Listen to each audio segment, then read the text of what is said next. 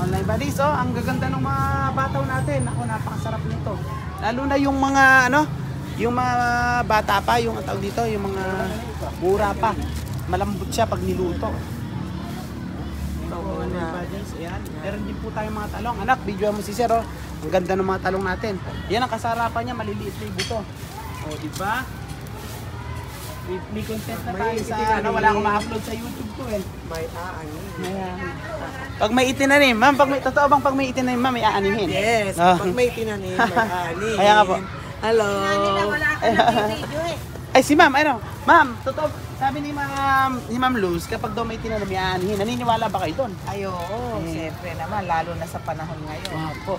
Ako, eh, naku, puro tayo, eh, Ganda naman ng tanim ni pampawala ng Sir, oh. pansir. Ako, naku, ma'am, mamitas po kayo at uh, masa, ma, ano po yan, masarap po yung maliliit lang. Yan. Alam niyo yung maliliit na talong, yan ang kasarapan niya, napakalambot niyan. Napakatamis. Yan ang Masustansya pa. masustansya pa. Isa susunod uh, guys, ito yung aming ano ah.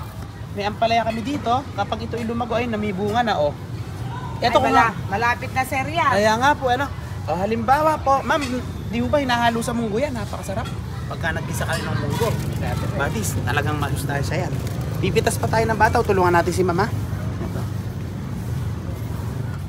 Sa mga bataw natin, meron tayong ano eh.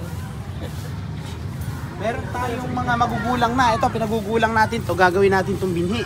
Ayan. Magugul- makun makunat na yan. Kaya etong masas eto ang masasarap. Diba? Nakipag naman eh sir, oh, dami. Ano, Naging madawag po nung nakaraan. Nabuwal po yung ano eh. Pero po.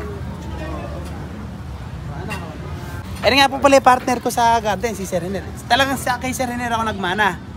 Yung lahat ng mga idea ko sa pagtatanim, tinuro niya sa akin. Sa akin, Sir Perdi rin pala, magkakasama kami sa iba namin kasama. Eh, Sir ang partner ko dito sa garden. At tunayan nga po si Sir Rener ang nagtanim nung yung mga talong. Talagang mahusay sa pataba. Magaling matataba yung mga lupang nakuha niya. Binobola mo ka. Para binobola natin yung mga natin subscriber.